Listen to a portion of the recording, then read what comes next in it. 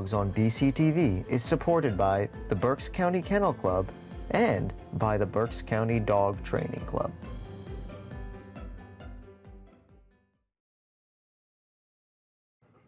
Good evening and welcome to the Berks County Kennel Club's program, All About Dogs. Hi, I'm Pat Mock, your host, and Happy New Year! Hard to believe that another year has come and gone. So, anyhow, for the month of January, since it's supposedly winter, we have some heavy duty breeds for you today. Well, breed for you today. My guests are Angela Evans Yes. and um, Edwina Miller, and they brought their Bernese Mountain Dogs with them. Big, big guys, hairy guys. Jasmine. Now, you said one of them is a puppy, right? Yes, Which, that's correct. which one is the puppy? The puppy is the one in the middle. Oh, this, okay. This one, he's just about a year old. Oh. Um, he was actually born Christmas Day, so he just turned one. Oh my goodness, they're just turning one, right? So Wow. he's he's as tall as the girls, but he's still very immature Yes. in his body and his mind. We all know about puppies' minds, don't Puppy's we? mind, yes. and activity level. and activity level. It's, right. it's very high and it's it's pleasant when they finally grow up, but there's a long way to that. So suppose you tell us a little bit about the Bernese Mountain Dog. What what was the bred for? Uh, Where did it come from? Um, the Bernese Mountain Dog originated in Switzerland in the um, middle, in the Bern middle lower lands. Um, oh, okay. and it was originally called the Dürrbächler dog. And in 1907, Albert Heim, when dog showing started to become a popular thing to do, gathered up all the Dürrbächler dogs, and at that point they were kind of split into three breeds: the Greater Swiss, the Bernese Mountain, and um, the Entlebucher. And they were originally called the Berner, the Berner Sennenhund Oh, okay. in okay. Europe. So that was the origin. He gathered a few dogs together, and they they wrote the standard, the original standard. Okay, that was for here in the United States. That was they wrote for in in Oh, in Switzerland. Switzerland. Oh, in Switzerland. Yeah, so they were, and the first Bernese came to the United States in 1937. Oh, and that's when they were recognized by the AKC. Wow. Okay. So it's an old breed, and it's a farm dog. Uh, the- and they they do best in a situation where they have activity on a regular basis. Okay, a job to a do. job to do because they were Yes. bred for hundreds of years to, you know, guard these little farmsteads from. You know, warn the farmer that somebody was coming. So they're not a guard dog, but they are Mm-hmm. right, right. So they do have a tendency to bark at things that come, Mm-hmm. people that come, and and they will. They do have some prey drive because they were also bred to get rid of, you know, keep foxes at bay Yeah, and weasels the, the and vermin whatever. out the of vermin out right, of mhm, away from out the of farmers. Yeah, yeah, yeah. Well, and, and they don't even need to be a, a guard dog. You see a dog this size barking at you and coming towards you, and what idiot is going to continue coming? I mean, you know, it's Correct. like- they don't. I mean, they stay there and say, "Yeah, make my day." You know. Correct, correct, wow. Correct. But so they also were used for farm chores. Farm chores. Uh-huh. They were um, a droving dog, so they would help bring in the cattle, uh, the cows, and those little farmsteads were mainly had a, a, a few milk cows, Right. which then they took the milk to the local creamery. So they used their dogs as a draft dog. Okay. So they did hook them to carts Uh-huh. and um, draft into town with the milk. Right. So they were they're really and they're not they do not have a tendency to roam because quite honestly these farmers didn't have time to pay attention to where their dogs were. Right. So the dog was pretty much around the house and mm-hmm. stayed around mm-hmm. and mm-hmm. my dogs do live a lot like that. I mean, we we have a small farm and they are loose pretty much 24/7 uh-huh. and they don't really roam. Yeah. Um, but that being said, you know, Well, and I guess too with with the farms, if if you had a farm dog that was used to working with you, you want you continue to keep that that bloodline, that gene that Correct. to make them stay around. You didn't want your farm dog Correct. traveling to the next Correct. farm. You weren't breeding the dogs that weren't um, that- that doing didn't- what the right, job you that's wanted. exactly yeah, right. those They dogs stayed around, Right, yeah, right. They right. Mm-hmm, stayed around. They got bred, and if they didn't, and then they, they were just eliminated from the gene pool. So. Right.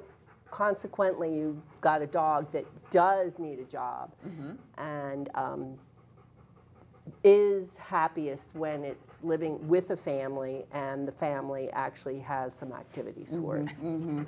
And you you do use your your dogs at your farm, right? They they do. Um, well, uh, yeah. I mean, I, I have in the past used my dogs to um, help take hay out and, and stuff, but mainly they are they're they are just my they are really my pets. pets, but I do obedience with them, and I have tracking. I've done tracking with Mm-hmm, them.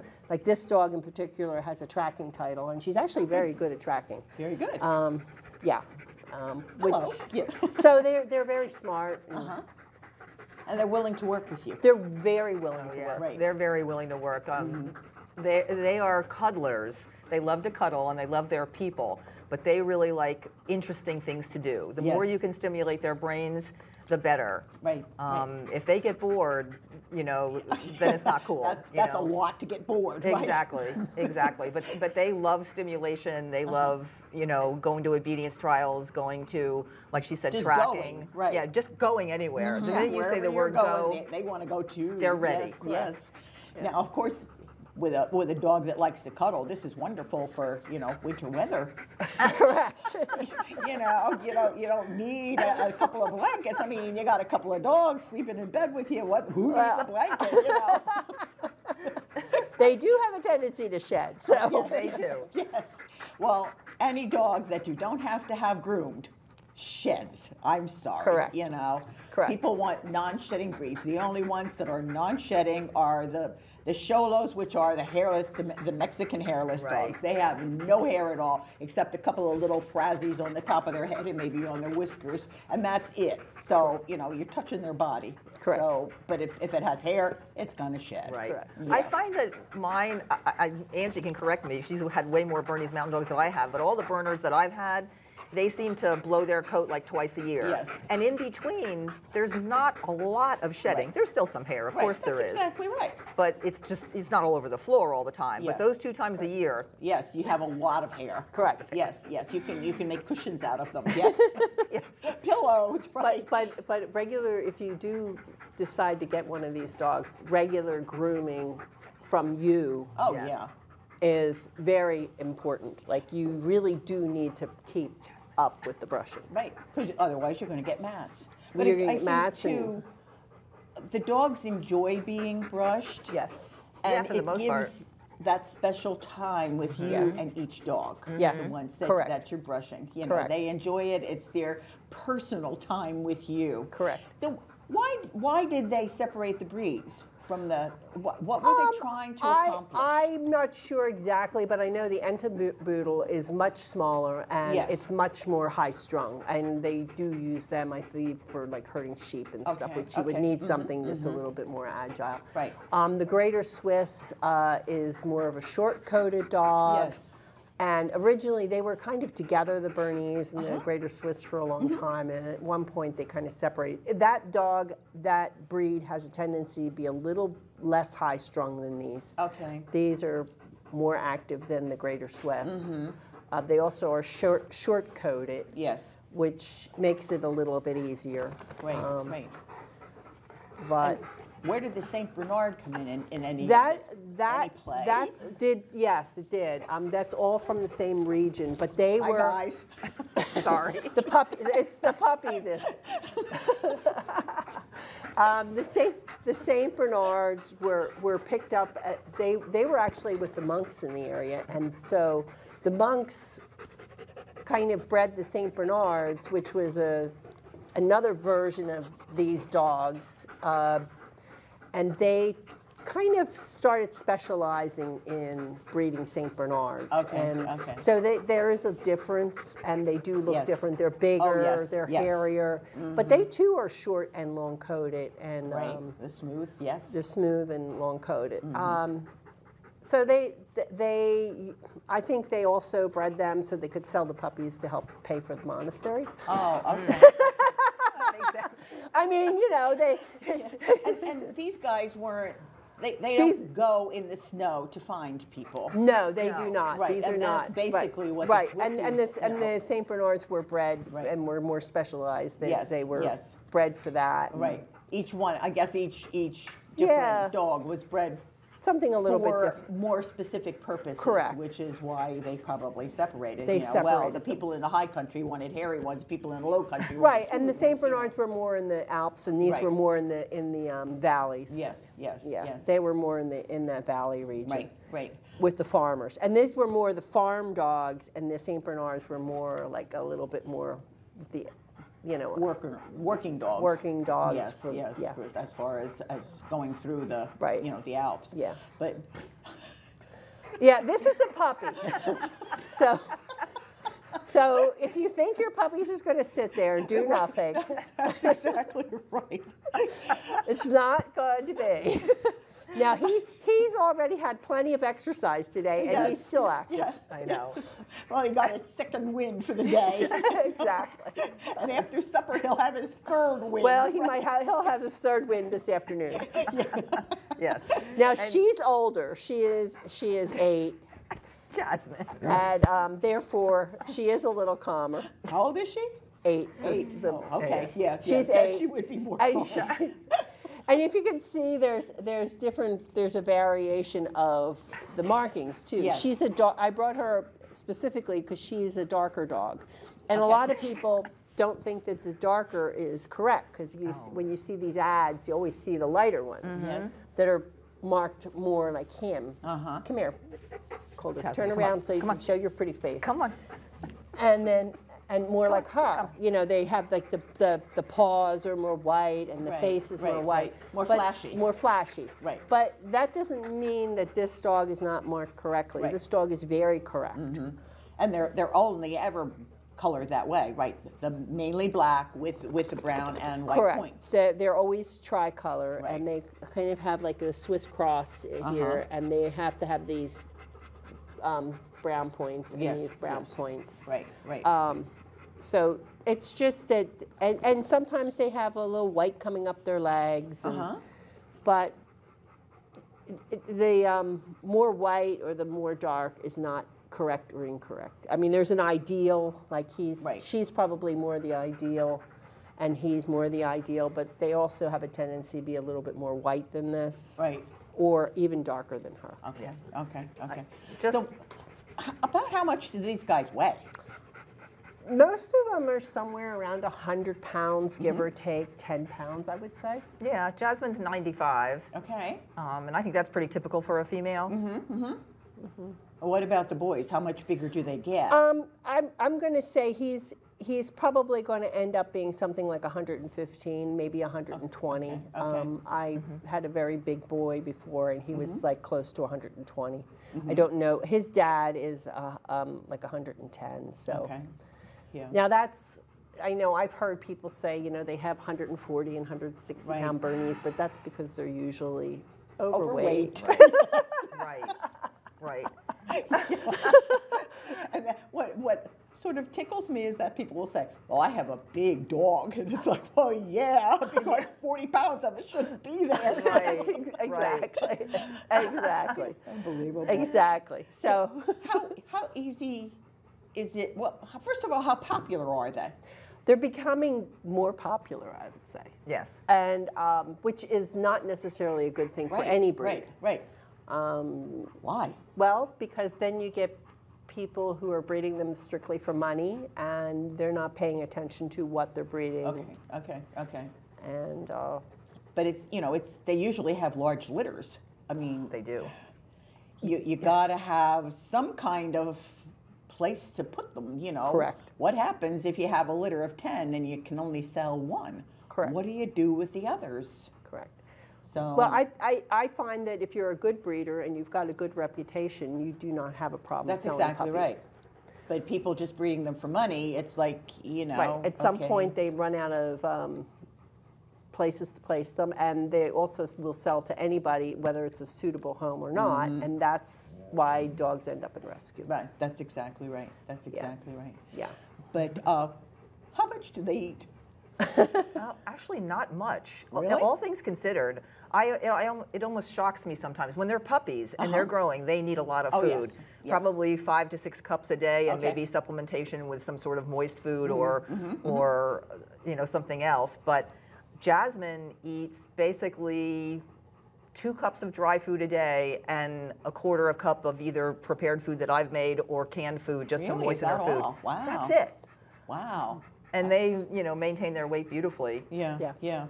Yeah, he, he's eating about seven cups a day plus something, and she's eating about two cups a day mm-hmm. plus something. Mm-hmm. My mm-hmm. older girl. Right. Yeah. And she's she looks she seems to be heavier than he is because he's still growing. It's Yes. kind of like kind of like your child who eats five peanut butter sandwiches and is about this thing and, and you you have one and you're you're like like, yes. thinking oh how did this happen right, right. Yep. So, uh, as far as training, are they easy to train? Yes. I, I have found them easy to train Okay. yes I mean, even as far as housebreaking? oh yeah. yes Really? Yes. Okay. So they're pretty clean. They're very, they like to be clean. Mm-hmm. Um, they're easy to train. They're a very soft dog, though. You cannot, they're, they, they don't, you can't train them the way you can train a lab. A lab, you can repeat the same thing 20 Yes, times and the yes. Mm-hmm, dog is still happy go lucky. These guys are more like, if you repeat it and then they understand it and you see they've understood it, then you have to stop because they're kind of like looking at you like, I Bored? did. Silly? Yes, yes. You're, you're They- boring I me did silly. that. I did they'll that. get an, they'll get annoyed. I w- when I first started taking her to rally Uh-huh, obedience, Um, and I was nervous because it was my first time. Yes. So I would you know get a course and I would repeat it and repeat it and repeat it and repeat it, and by the third time she's like. I'm not doing this. And I'd be Mm-hmm. dragging her through the course. And Angie's like, don't do that. Yes. Show it to her once, maybe twice, and then go to your thing and just be happy and good. Mm-hmm. And then she started to excel. Yeah. Very good. Totally different. Yeah, yeah, yeah.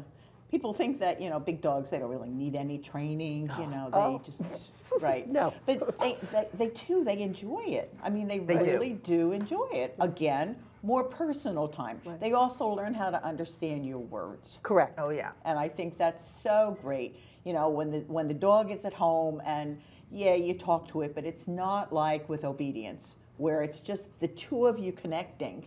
Correct. And I, I just I just think it's great. I think all dogs should go to obedience class, but that's my Right. I, personal I opinion. agree. I think I think all dogs definitely need at mm-hmm. least a basic obedience mm-hmm. class. I think their humans also need a basic obedience. Right, correct. Because the person generally needs the basic obedience Yes. class. But even if you even if you just get one as a pet and you're a big outdoorsy person and you do a lot of hiking and you're you're mm-hmm. you know these dogs excel in that situation. Yes, yes. Um, they don't always do as well at, with the person who would just like to have the pet to cuddle and you know open the door and let them out to pee and poop. That- Yeah, yeah. They get bored and they will redecorate the house or redecorate the house and the yard. Yes. And then you're frustrated and the dog's frustrated Mm-hmm, and um, it's just not a good situation. Right, right, right. So with these, I, I'm assuming these dogs would be great with kids. Yeah. because they're being a farm dog, you know, as long as the, the kid respected the dog, you Correct. know, Yes. they would be good with children. But what about like a, a person in, you know, an older person who may be living in an apartment? Would this be a good dog for them? It depends. It depends on the dog. Um, most of the lines are a little bit probably too hyper. It, it has a tendency to, when it's growing, this is a mm-hmm. big, this is a big dog mm-hmm. already. He's a year old. He's probably got another two years where he's a little bit more high energy and Yes. he's strong. Yes. Mm-hmm. So if you're a very active person, um, it can work. But if you're not physically active yourself and you're m- more of a, Watch television kind of person? then I'd suggest you get a small pet that will Yes, sit on your yes, lap. Yes. But do they really require, now, we have two of them that are sleeping. Only the boy is awake.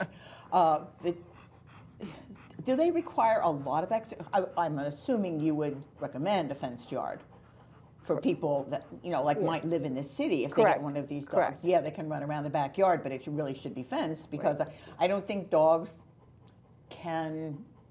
My yard goes from Right. that tree to that tree to those trees Correct. out there. Correct.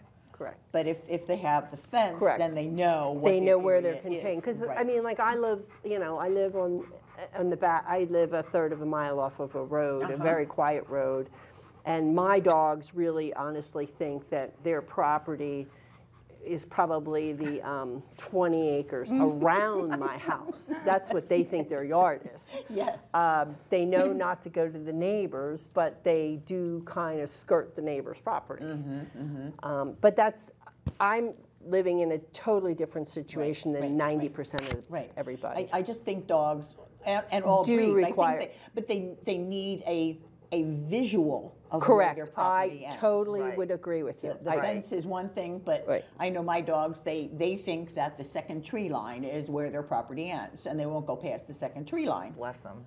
But you know they have a visual. Here it Correct, is. correct. Right. Right. I, I totally agree. Right. And and unless your dog unless your dog has a playmate, they don't have a tendency. This is not a type of breed that has a tendency to go out, especially as they get older, and run around Mm-hmm. your yard. They really wouldn't like to have you go out with them, Yes, yes. or you take them somewhere. Right. Right. Right.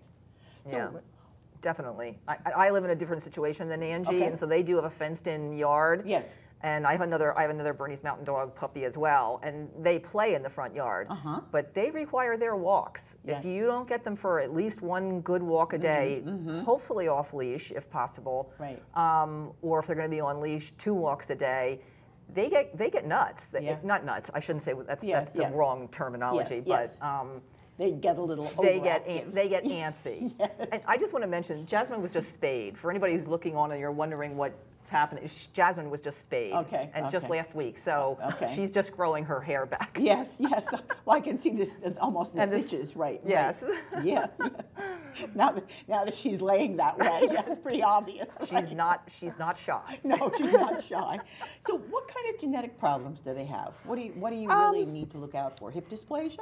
Um, hip dysplasia is probably something you don't need to look out for as much if you're going to a reputable breeder because we all do our hip right, clearances. right, right. And I personally never had a dog that I've bred that has had real dysplastic problems. Okay. I mean, I've had some that have had minor issues, Yes, but yes. nothing where it required surgery Right, or anything. right. Um, histio, cancer is a big one Well, cancer's Um, a big one in all of them. in all of them. Um, histiosarcoma is the, the cancer that we, that they have a tendency to get. Um, it's a little bit more common in our breed, but I found my own personal lines have seemed to be dealing more with a lymphoma if they get a cancer. Yes, yes. Uh, I've bred dogs that have made it past 13, and I've bred dogs that have made it to three. oh my. So it's, it's, Yes. it's, you know, I, I wish, I wish we ha- all had a crystal ball and they all were Mm-hmm. healthy, but the reality is, if you, if you, Pat, had, say, 20 children, Yes. which isn't unusual for a female Right, dog to right, have, right. The chances of all those 20 children being genetically perfect Right. would be Yes, yes, and and you know, children get cancer, which is you know so devastating, and it's the same with the dogs. Correct. It's the same with Dogs, the true. dogs, dogs have things. But we, if you're a real, if you're a, a real breeder, I, Yes. I, I mentioned that, not, not that, but somebody who cares, you're doing heart testing, you're doing Yes. eye testing, Right. you're doing hips, you're doing elbows. Yes, yes. Um, you're checking, we're also checking now for um, which, which DM, which is a genetic disorder that just seems to get them when they're very old. Okay. So okay. yes. Do they have bloat? uh, they do have a tendency. Some of them, some of the lines have a tendency to bloat more than others. Okay. They are, they do bloat. Um, unfortunately, they're a very sensitive dog, so they react to our stresses and the stresses in their environments, which might contribute a little bit to the bloat okay. situation. Okay. But their chest cavity is also very deep. They're, Yes, and that yes, because of the- also right, right. contributes to And, the, and the bloat. bloat is just twisting of the stomach. I say just, but it's twisting of the stomach, and you have to have Correct. medical care for them very, very quickly. Otherwise, you're going to lose them. Correct. Yes. Because the blood flow, blood flow stops as well. Correct, correct. So if you have bloat, you definitely have to.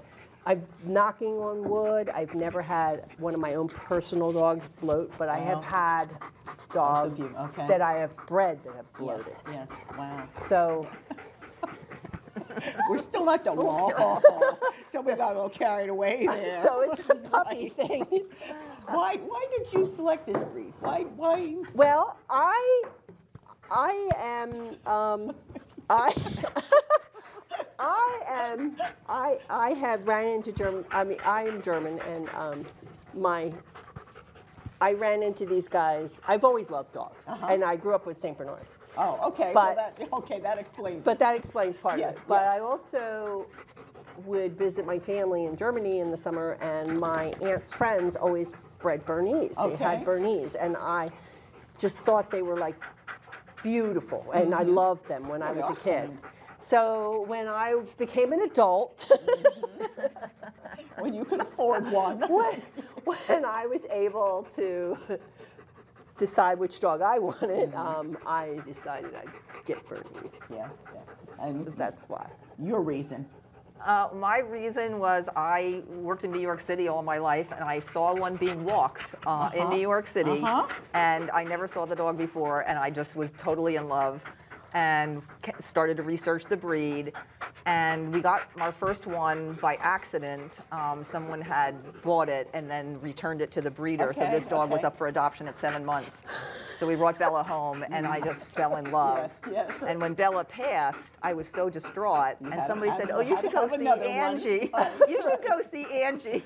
Who lives right around the corner? Around the corner. so. We just became fast friends.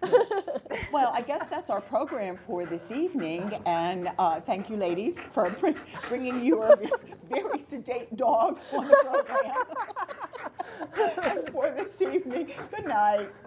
Good night.